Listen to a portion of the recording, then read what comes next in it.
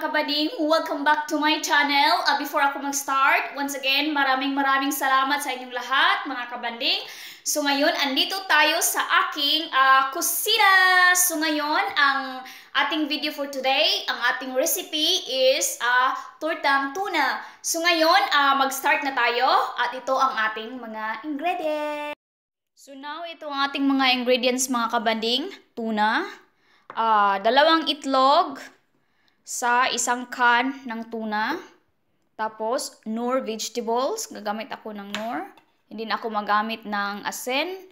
Uh, instead, fresh garlic, uh, paste garlic ang gagamitin ko mga kabanding. I-mix siya. Tapos, uh, black pepper. Lagyan ko ng black pepper para uh, mahalang siya ng konti. Tapos, uh, carrots. I-slice ko siya ng pinakamaliit. Tapos, uh, cornstarch, lagyan natin ng cornstarch, mga 1 tablespoon. At saka, of course, uh, oil. Oil ang aking gagamitin sa pag-fry. Depende sa inyo. Pwede din siyang butter. So, ngayon, mag-start na tayo mga kabanding. Ngayon, mga kabanding, mag-start na tayo. I-mix ko ang uh, tuna. Tapos, ilagay ko ang nor. Uh, dissolve, dissolve ko siya sa uh, mainit na tubig. Ang nor cubes, vegetables. Itlog. Dalawang itlog.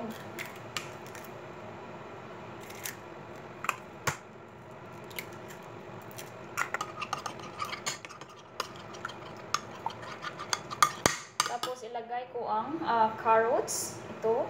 Uh, slice ko na siya ng konti. Tapos ang uh, garlic paste. Ito siya mga kamanding, small spoon. Ay ko ang uh, black pepper.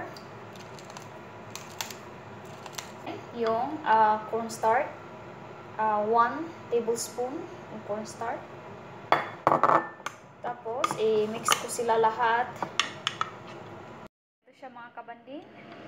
Ready na siya. Now, ito ang uh, oil. Ilagay ko dito.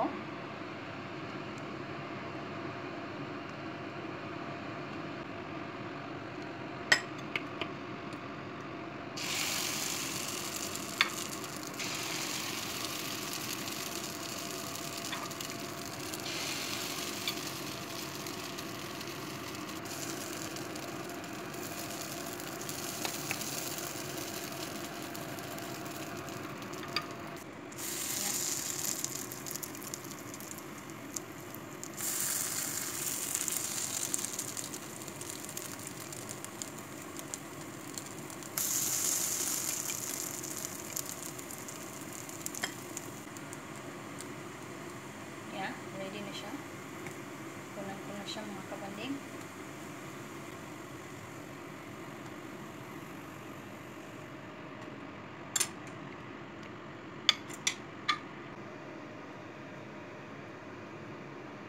So, ayan. Tapos na mga kabanding.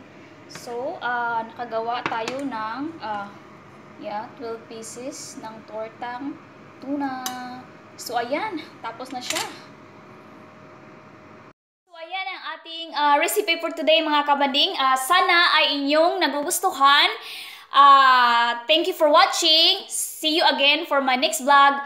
Bye-bye!